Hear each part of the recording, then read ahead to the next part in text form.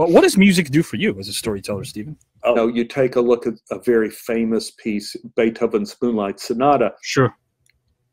You know, the critics, of course, it's not called that. The real name of that is Fantasia in C sharp minor.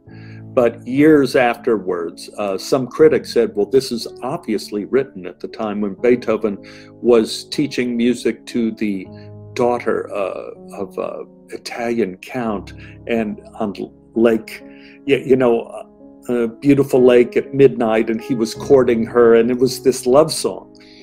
And you could you could say that, but I, I took a course in in this in New York, and William Kinderman, who now is teaching at UCLA, said that right.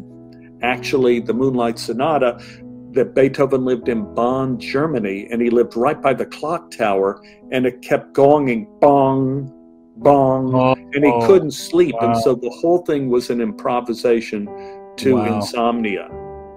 And Isn't then later, I heard I, I, I have back here a, a, a diary of Beethoven's, and and it said that he actually wrote that piece sitting at the bedside of a friend of his who was dying, dying, and is the sound of breath leaving the body. And at the very end, the, the breath leaves the body and the spirit ascends to heaven. At the so very many end. stories associated with pieces of art. I mean, there's so many. Yeah.